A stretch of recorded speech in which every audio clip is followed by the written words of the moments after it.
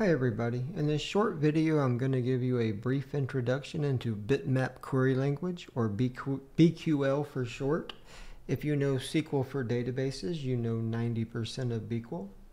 This is a stock photo I bought and what I'm going to be doing is creating a couple of tabs and removing the back the black background or dark background and the reason I'm doing this is I have this site called Blazor Excelerate, and I guess I've been expecting the five or ten visitors a day to go all the way to GitHub and look at the code and see how it works, and that's way too much to ask in the day of cat videos. So what I'm going to do is try to add two tabs here, one for loading data and one for saving data. To try to make it easier for people. Maybe that will help. But what I'm going to do now is just load this image. So I'm going to go to my temp folder I can find it.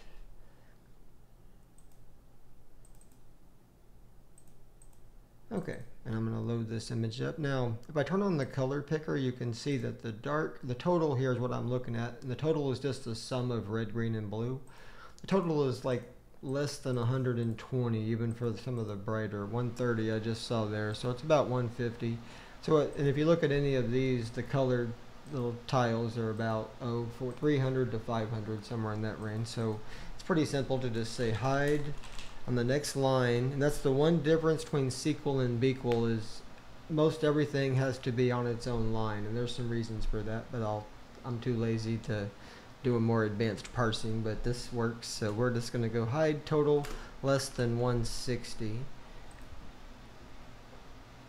and that got rid of everything. The only thing I can see is this little edge right here, so that's pretty simple. I don't even really need it, but I'll just show you as a demo. I can just say I want to hide where x greater than 3700.